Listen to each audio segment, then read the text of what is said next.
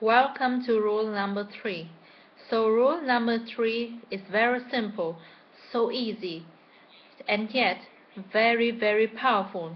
In fact, I usually say this is the number one suggestion, the number one rule, the most important rule, and so easy. And it is learn with your ears, not with your eyes, okay?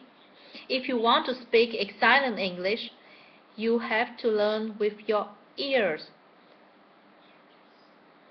Listening, listening, listening, and more listening is the key to speaking excellent English.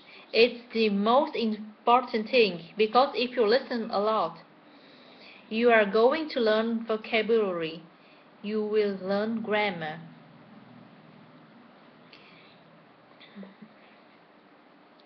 You will get faster and you will understand better.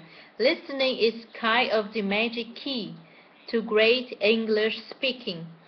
There's a lot of research about this. This all shows listening is the most important thing you can do. So this tells us one reason you probably have some trouble with your speaking. Why? Because again, when you learned English in school, you probably learned mostly with your eyes. Most English schools, middle schools, high school, university, private English schools, most of them focus on textbooks in the classroom. I'm sure this has been true for you also. So textbooks, textbooks, textbooks, so that's the problem. In school, basically, you learn with your eyes and basically in school you learn to write English. You also learn to think about English, so you know a lot about grammar rules. In fact, you know more about grammar rules than most Americans, most Canadians, most British people, because native speakers don't study that stuff very much. Native speakers learn to speak English with their ears by listening, listening, listening and that's what you must do if you want to speak English quickly, easily, automatically, correctly, just like a native speaker. So, let me be a little more specific because it's important how you listen and what you listen to. The most important thing is you must listen to easy English. It must be easy. What do I mean by easy?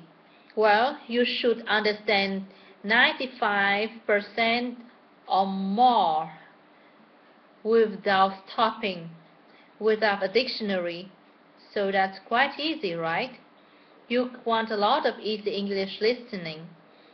Now, you might try children programs. You might try children's audiobooks.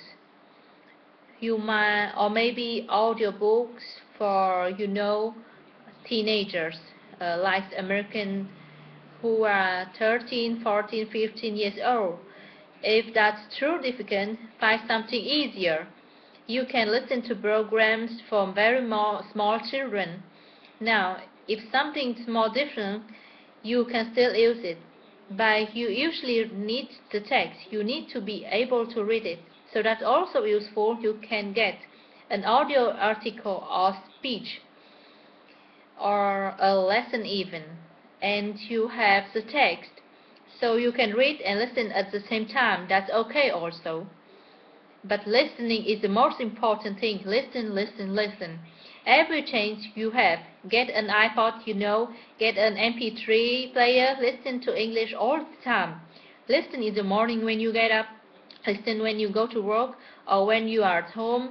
Listen when you are at lunch. Listen when you are coming home from work, listen in the evening. Lots and lots and lots of English listening. Lots of easy listening. That's your number one key. Listen to podcast, listen to my videos. I have a free podcast. Listen to that. Listen, listen, listen, okay? So it's simple. It's easy and it's super powerful. Please do this. Focus on listening, not on textbooks not on learning with your eyes.